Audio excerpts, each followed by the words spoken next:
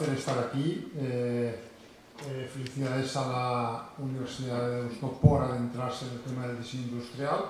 Creo que ha tenido mucha suerte de hacerlo de la mano de Marcelo, eso es una garantía. Y sé que aquí el diseño industrial, País Vasco, tiene eh, no solo futuro, sino un pasado brutal y un presente fantástico que todos nos gustaría disfrutar, con lo cual, eh, eh, mi enhorabuena. También felicidades a Nacho, es un crack, eh, y, y, lamento solo toda esta brillante que encima no podáis ver su obra, su magnífica obra de diseño que le mereció un premio. San internet, San internet. Muy, muy, pero sí, pero contado por el autor, siempre es genial. Y nada, yo eh, eh, brevemente voy a presentarme un poco con el, el, trabajo que hago. Yo tengo el título de arquitecto, pero lo que soy es diseñador. Él también es arquitecto y hace diseño, y yo creo que no existe ninguna diferencia entre una cosa u otra, y ahora voy a intentar explicarlo. Eh, y luego, muy brevemente, voy a hacer un decálogo. Eh, yo pensaba que esto estaría aquí borrado de jóvenes diseñadores. Eh, en fin, veo que todos sois muy jóvenes y muy guapos, pero eh, básicamente son consejos que quizá entonces, eh, no sé, os parecen un poco ridículos, pero en fin, yo lo he preparado con todo cariño y aquí lo voy a soltar. Así es que primero, eh, muy rápidamente... Eh, sí, eh, es por aquí, ¿no? Sí, bueno, eh, este es un hotel que he hecho, eh, que simplemente lo que intenta es que cuando tú entras al hotel, que lo que te gusta es desnudarte, pero acto seguido te gusta ir a la ventana a ver qué se ve, lo puedes hacer. Como veis, estás guarnecido y puedes mirar de lado. Una idea absurda, pero es el hotelón. Eh, este es otro diseño mío, no el del centro, lo siento, sino el de al lado a la izquierda, la casita del perro, eh, que es precisamente otro hotel inspirado en un piano para precisamente una empresa vasca, Urbasco, los hoteles Silke, donde lo que quería era precisamente protegerme del edificio este que pusieron enfrente. Eh, esto es un centro de ocio eh, que está inspirado en la plaza del pueblo, que es donde la gente iba a disfrutar. Entonces es un centro antiamericano, es decir, no está cubierto por vidrio, sino que está aire libre, pensando en el clima mediterráneo, aunque ahora veo que también es el clima vasco, porque vengo aquí y hace un sol tremendo y calor, y, o sea que también se serviría para aquí, eh, donde, digamos, eh, entre la luz por todas partes. También hago casas, porque yo creo que una casa es lo mismo que eh, una silla, tiene una estructura, unos materiales, solo que la gente se mete adentro. O, por ejemplo, hago un edificio falso, que es esta medianera, que es simplemente poner un jardín vertical. Lo hemos llamado jardín vertical y es eh, dejar que la verdura invada de nuevo las ciudades, es un concepto que se llama vegetectura, que es, es bring the forest to the city, es volver a invadir la ciudad de verde eh, y que además sirve de filtro, eh, en fin, purifica el, el, espacio. Una concepción ecológica que creo que todo hoy, hoy en día todos tenemos, Vidrala me consta, y creo que hoy ser diseñador y no tener esa conciencia creo que simplemente es eh, criminal, debería ir directamente a la cárcel. La mayoría de diseños no se construyen. Este es un eh, hotel que hice, que no se ha construido para eh, Lérida, inspirado en una hoja y que tenía un proyecto radicalmente ecológico. Este es otro en Granada, donde tú pudieses mover la fachada para, según si es verano o invierno, poder mirar, poder defenderte del sol y que tú, por tanto, es una fachada viva que iría cambiando a lo largo del año, tampoco se ha hecho, y esto es un bar de tapas, de pinchos en Washington eh, para promocionar el tapeo y el pincho español que tampoco se ha hecho. A veces también hago diseños eh, efímeros, Esto es un montaje para hablar de un material que se llama Rock, donde ahí vuela más la imaginación. Son esos proyectos que te sientes más libre, eh, pero nunca hay que perder ese nexo con el eh, usuario. Y, por ejemplo, en un tema comercial como las eh, tiendas camper, pues intentas que aunque sea muy poético, al final la gente entre, encuentre dónde están los zapatos, se los pruebe y, se los compre. yo aquí intenté hacer objetos mezclados con los zapatos, puse cafeteras, flexos, eh, tapas, joyas, para enseñar a la gente que un zapato no es ni más ni menos que un producto industrial. También hago restaurantes, aquí veis un par, están en Washington, para un chef de aquí que se llama José Andrés, y también he hecho exposiciones de diseño con Marcelo. Esta es una que me interesó mucho sobre la copia, se llamaba Cocos, copias y coincidencias, porque a veces nos pensamos unos genios y resulta que lo que hemos hecho hace mucho tiempo que se ha hecho en otros países, en otros sitios, con lo cual cuidado también un poco con nuestra arrogancia. Esta es una exposición de 100 sillas de los últimos 100 años hechas en España, eh, la mitad son vascas, la otra mitad son valencianas y alguna catalana, eh, desde Gaudí hasta, hasta nuestros momentos, y esto también es una exposición de diseñadores españoles, una exposición que se llama Bravos, intentando promover la, eh, el ingenio español por todo el mundo, también pues, he tocado el tema de gastronomía y diseño con esta exposición, de de objetos para la comida, que se iba a hacer aquí en Bilbao, pero al final eh, no se hizo, ahora está en Valencia y luego irá a Barcelona. O, por ejemplo, la curiosidad de cómo nacen los objetos, las cosas, por ejemplo, una pinza. Esa evolución, esa también curiosidad que decía Nacho de, bueno, al principio, eh, ¿qué hacía la gente? Pues la ropa eh, la ataba un árbol. Entonces, ¿qué pasa? Y el árbol se secaba, pero cuando la sacaba, se rompía la ropa entonces lo ponían en una cuerda, pero entonces venía el viento y se lo llevaba. Bueno, entonces cogieron un trozo de una rama y lo pinzaron, pero entonces la rama se abría, etcétera, etcétera, hasta el invento genial de la pinza. También he hecho algún diseño horrible, como este, como este mueble bar, absurdo. Eh, y hasta incluso, eh, la culpa por eso es que me encargó una empresa vasca, eh, también he hecho este farola, se llama la farola viva, que es una farola que no está conectada porque tiene, imita un árbol, arriba tiene unas células fotovoltaicas, baja por un cable y tiene una luz, también le sale un asiento, es decir, eh, un sueño, es un árbol convertido que te da luz, e incluso me he atrevido a hacer zapatos al estilo de Gaudí, al estilo de Le Corbusier, al estilo de Alvaralto, que espero que al menos los estudiantes sepan quién es ese señor, que murió hace justo 100 años, y también al estilo eh, al estilo de constructivista eh, de estos años. Eh, por supuesto, afortunadamente no se pusieron nunca en producción. Eh, y si me he atrevido al final también a diseñar un jamón, es el, cuando empezó la crisis, eh, yo tenía la costumbre de regalar un jamón a mis clientes que me encargaban arquitectura, como nadie me encargó nada ese año, dije, pues ahora veréis, os envié un jamón pero inflable, es el jamón de la crisis, compré un jamón, lo fotografié, hice en fin, plástico, le puse todo, la etiqueta, el código de barras, no, sin grasa, por supuesto, sin jamón, 0% grasa, el código de barras en realidad era código de guardas. Bueno, total que lo envié eh, a los clientes y obviamente tampoco, a partir de entonces tampoco me han encargado nada. Pero tuve la suerte de que un empresario le gustó la broma y lo fabricó en China, valga la paradoja, y se ha estado vendiendo en una vida bastante bien hasta la fecha.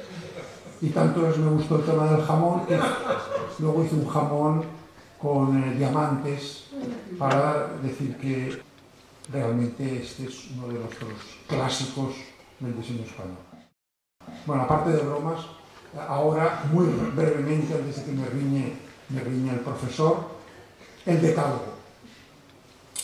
Lo siento por vosotros, los jóvenes, pero la primera norma infalible para, si queréis ser diseñadores, es no beberás, no fumarás, no te drogarás.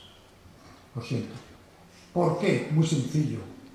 Porque lo más importante para un diseñador es la cabeza, el cerebro, el pensar.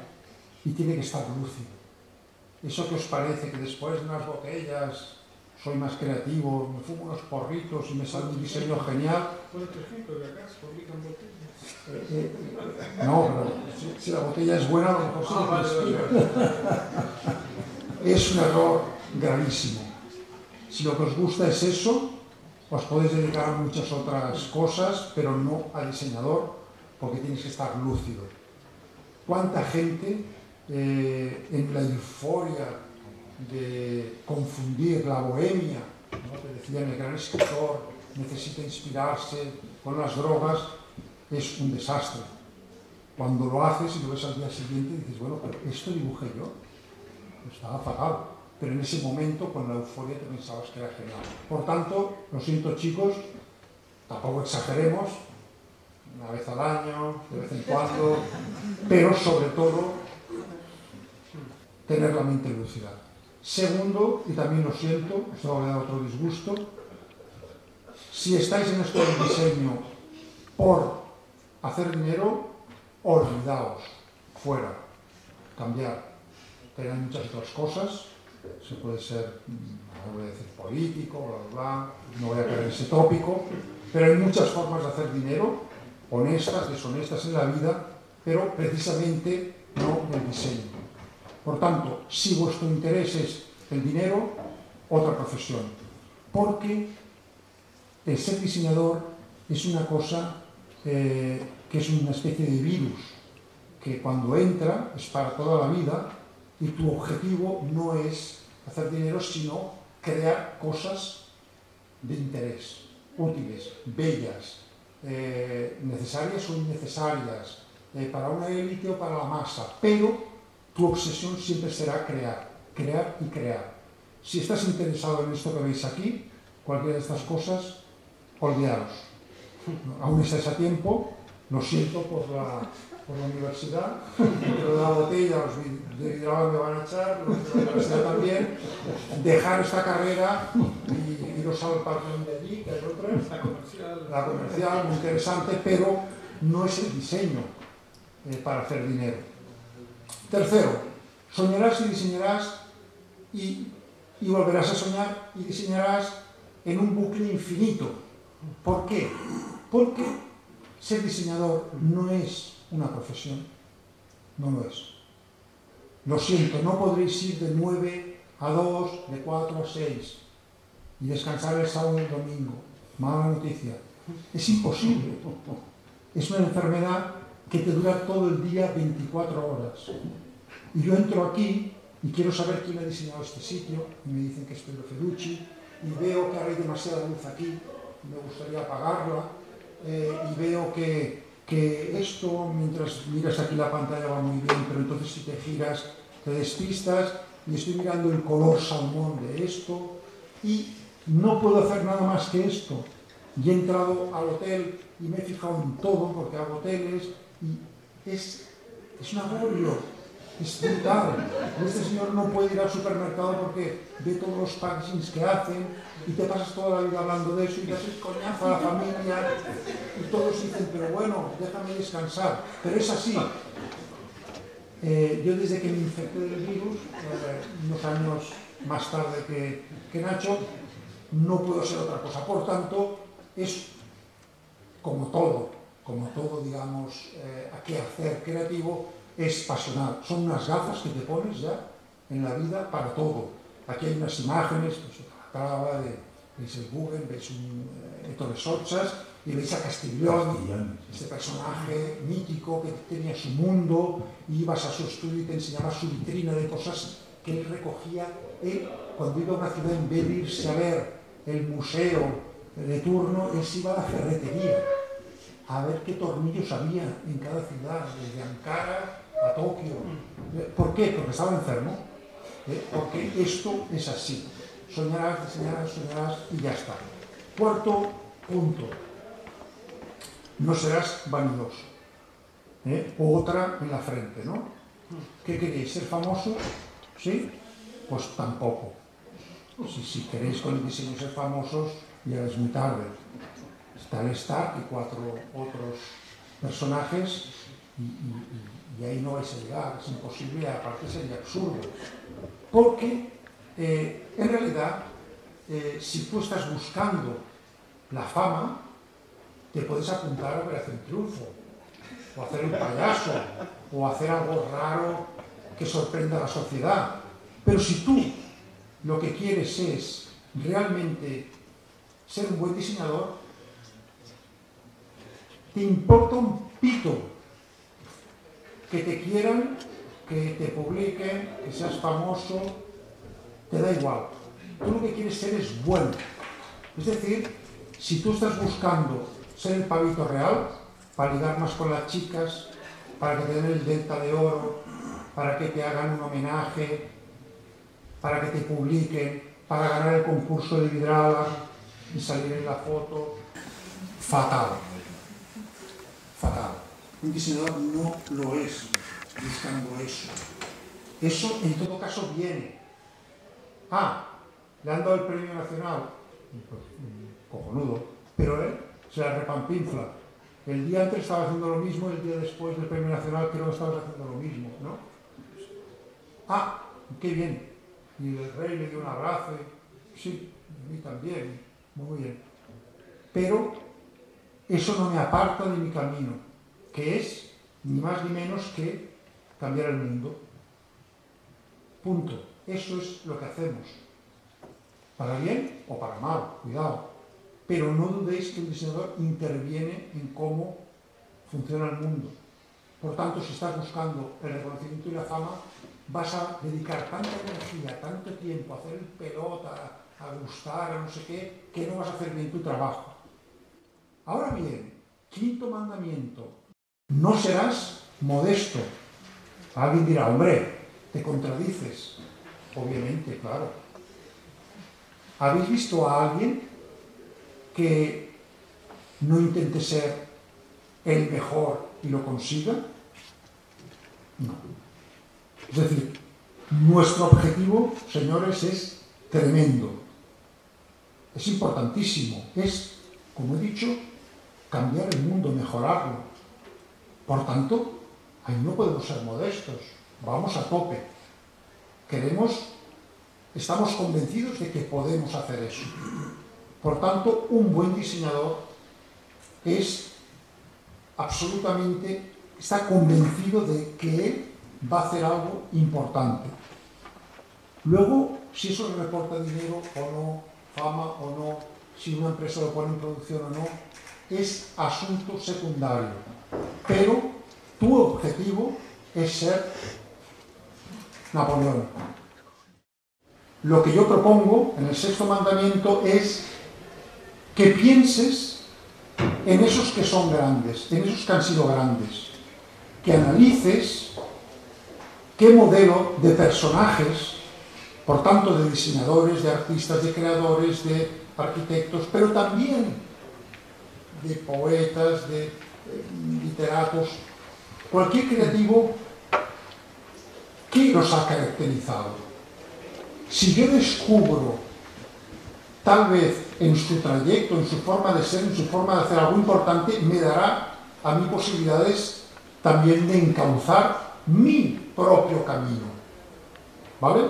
O sea, yo lo que hago es, eh, ahora quería hacer un examen, a los, ¿hay algún alumno por aquí o no?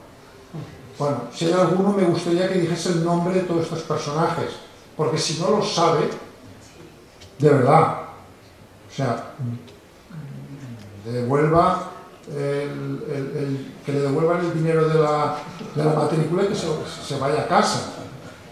Porque cualquiera que haya llegado aquí a hacer diseño industrial tiene que saber perfectamente quién son estos personajes. Son los IMSS, Charles y Wright IMSS, os habéis sentado 20 veces, habéis puesto el culo en alguna de sus sillas, seguro. Está Gary, no nos hagamos de poner los nuestros en el, restaurante, Está Sochas, del que acabamos de ver, y yo no lo sabía, la Valentine, y está Ray, que todos habéis visitado el Guggenheim, eh, sino este, digamos, el de Nueva York, está Leonardo da Vinci, del cual todos los objetos, desde el váter que hizo el primero a, las máquinas voladoras, entonces podemos decir que es él, y por supuesto, eh, sí que espero haya reconocido a Alfred Hitchcock. ¿Alfred Hitchcock? No, hombre, no. Es Mies van der Rohe. Se parece. ¿Vale? El que inventa la silla Cantilever. Pero podría poner muchos más. De verdad. Esos personajes eh, lo hicieron antes que vosotros. No queráis inventar la rueda. Ir a, ellos, que os están esperando. ¿Sabéis dónde? En la biblioteca de aquí, que hay libros suyos. En los museos. Pero también aquí mismo. Porque el séptimo mandamiento es que no has de pasar ni un solo día en tu vida sin analizar algún clásico. Joder, yo hoy voy sobradísimo porque entrar en el buen han, sentar en esa silla, en fin, etcétera, etcétera. Pero cada día tú tienes la obligación de analizar y decir, ostras, ¿por qué realmente es genial?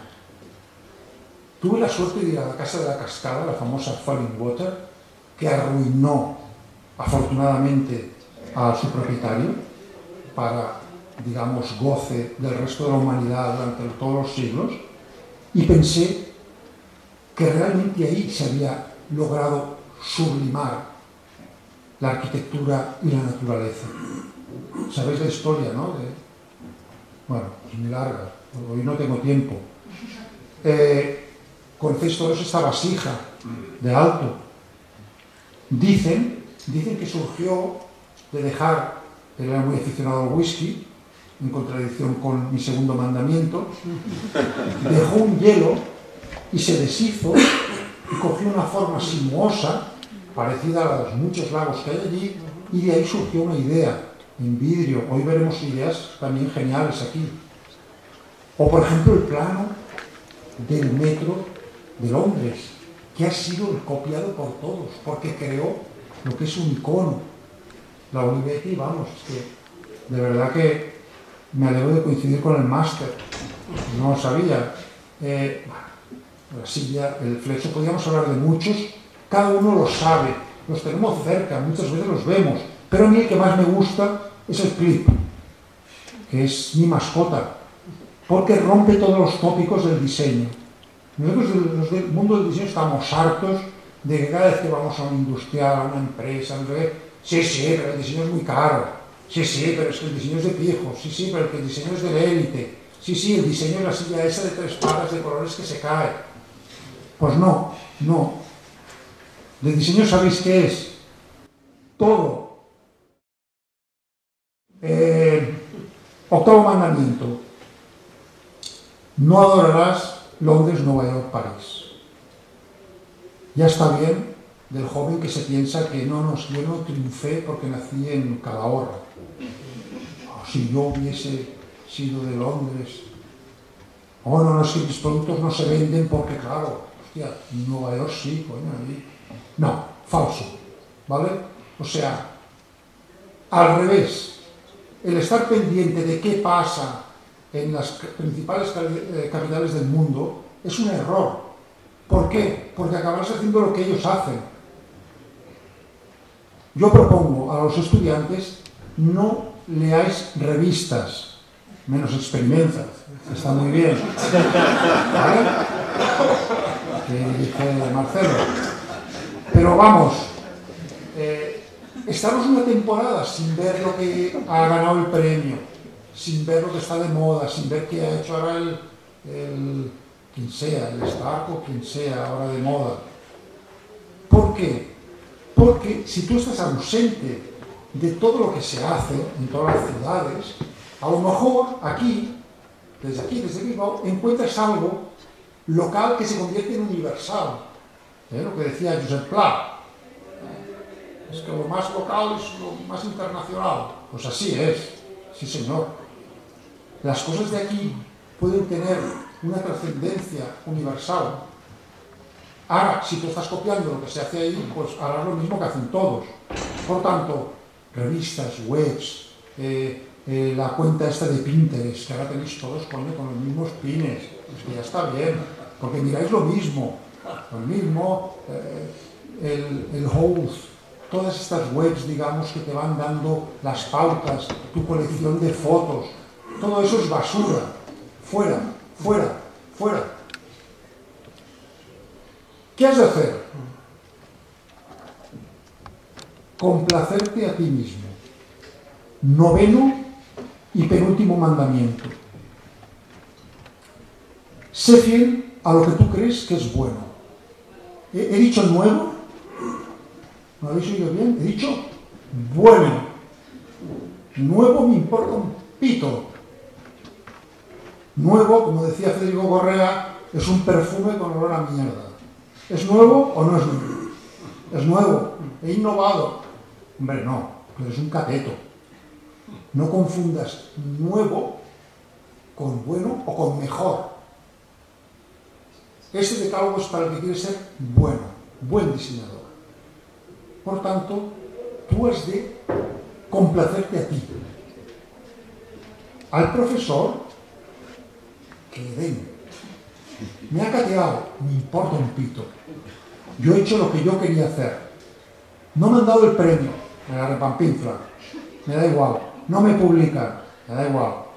Porque si tú lo que quieres es agradar a tu profesor, ¿qué acabarás haciendo? Pues si el tío es un postmodern, pondrá las cosas de colorines y torcidas, y, y sí, te aprobará, y hasta te pone un sobresaliente. Pero tú te has prostituido Décimo y último mandamientos. ¿Pensabais que podéis hacer lo que os diese la gana? con el noveno, serás difícil de complacer. Acabamos de decir que puedes hacer lo que quieres y, lo mantengo. Pero, hombre, los que hacen así, ah, esto es me ha salido, ¿eh? ya está, perfecto. Hombre, mi macho, no, esto no. Oh, no me has dicho que yo vaya a la mía lo que quiera, pues, bueno, falta decir que sí, haz lo que tú quieras, pero con un alto grado de exigencia, nivelón, no lo que me ha salido.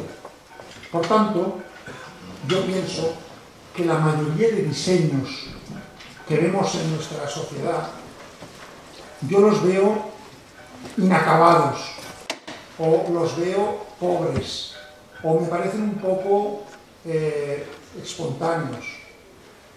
Yo creo que lo interesante en un proyecto es cuando pasas al siguiente plano. Tú has tenido la idea, la inspiración, está muy bien, pero eh, quieres ir más allá. Eh, el ejemplo es, por ejemplo, Panton, Werner Panton, que es el primero que hizo una silla eh, plástico de una sola pieza, ¿vale? Porque unos años antes se había hecho en varias piezas, la cárcel, bla, bla, bla. Bien, Panton, todos tenéis esta imagen del tío feliz, esta silla, jo, que se vende, qué royalties, qué chollo, qué idea tuvo, jo, qué suerte, ¿no? Hizo así un dibujito y, oye, ha hecho un clásico y se ha forrado. Señores, Panton estuvo 30 o 40 años haciendo esta silla. En el año 56 hizo los primeros bocetos tuvo las primeras ideas. Hizo incluso unas maquetas eh, y unos pequeños prototipos. En el año 67, 10 años después, 10, ¿sabéis lo que son 10? 10, que en 10 queréis hacer 30.000 diseños, hizo la primera en fibra de vidrio. Previamente había hecho otras en madera, con la empresa Tonet. En el 71 hizo una de poliuretano, eso es de poliestireno que se rompía, que se desconchaba. Estuvo cuatro o cinco años sin poderla poner en producción.